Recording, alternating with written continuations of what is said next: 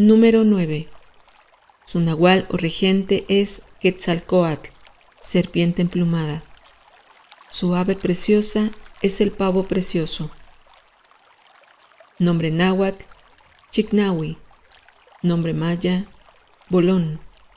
Nombre quiché, Belejeb. Nombre totonaca, Najatza. Nombre zapoteca, Jaa. Nombre mixteca, Iin.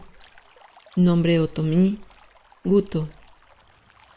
El 9 representa la oposición, invierte la polaridad de ambos aspectos del signo, es decir, arruina el positivo y convierte el negativo en una lección provechosa. Su consejo es buscar las causas profundas y no actuar de un modo irreflexivo. El signo de venado es el séptimo de la veintena. Su nahual o regente es Tlaloc, el fluido. Se orienta al oeste, su elemento es el agua y su color el negro.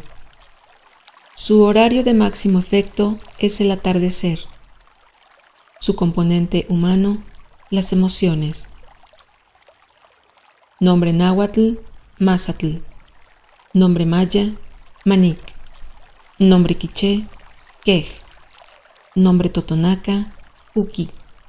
Nombre zapoteca, China. Nombre mixteca, nombre otomí, Fanto. El signo de venado representa nuestro lado animal, los instintos y pasiones, la energía vital, la fuerza y el poder, la resistencia, la capacidad de trabajo y el valor para afrontar los riesgos y sobreponerse a las dificultades. En nuestra historia personal, el venado simboliza a los padres y las actividades que hemos emprendido como adultos. En los días en que rige venado, vale la pena realizar un esfuerzo extra para conseguir aquello que anhelamos. Sus nativos tienen gran capacidad para trabajar, triunfar y ganar riquezas, también para desarrollar una intensa y grata vida sentimental y sexual.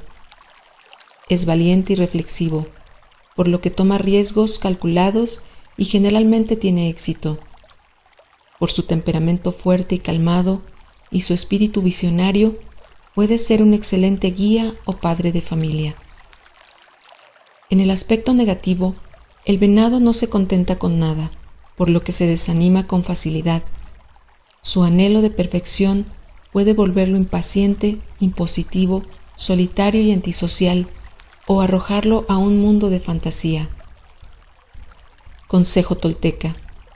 Aprende a valorar lo que has conseguido y a fluir si las cosas no salen bien. Ten paciencia con los demás, no los dañes. No olvides tus responsabilidades y cumple con gozo con los compromisos que contraes.